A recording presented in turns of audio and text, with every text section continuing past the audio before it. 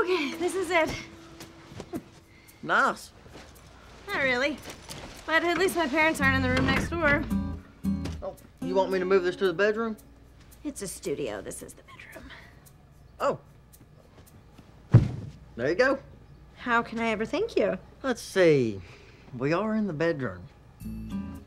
What, so like take a nap? Maybe after. Deal.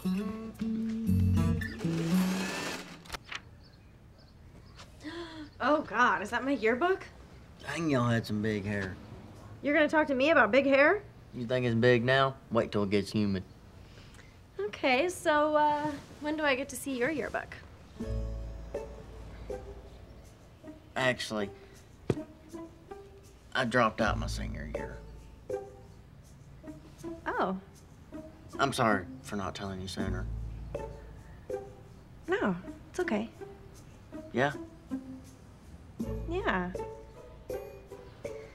So what other secrets are you hiding from me? You got a wife and kids? No. But I'm not really 21, I'm 17.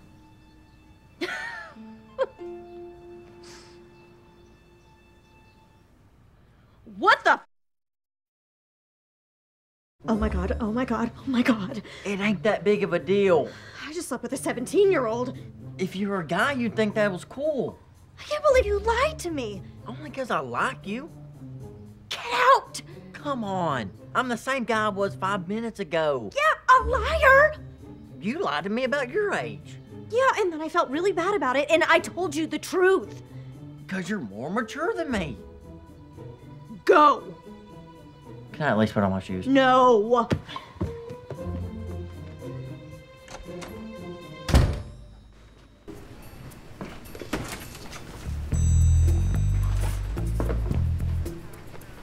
Georgie ain't here. I came to talk to you. Could you please take your voice down just a notch? Why? You don't want anyone to hear? No, a little hungover.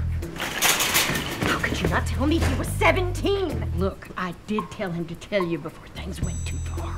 Well, they did go too far. Well, I get it. Men are the worst. I'm going through stuff myself.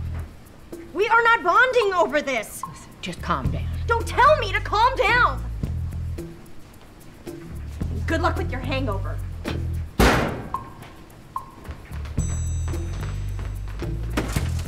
Well, that's too bad. I liked her. Did you see? Hey, Nice of you to show up. Broom closet, now. So, your little girlfriend Mandy came by today, and she is pissed.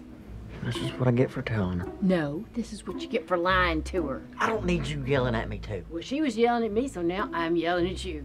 Just because you're having men problems, please don't take it out on me. All I'm saying is you really messed up. I apologize. Why are we still talking about this? Georgie, just think how you'd feel if someday somebody did that to your sister.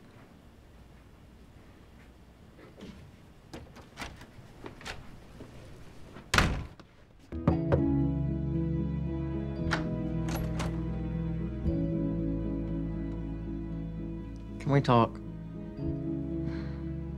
We better. What's going on? I'm pregnant.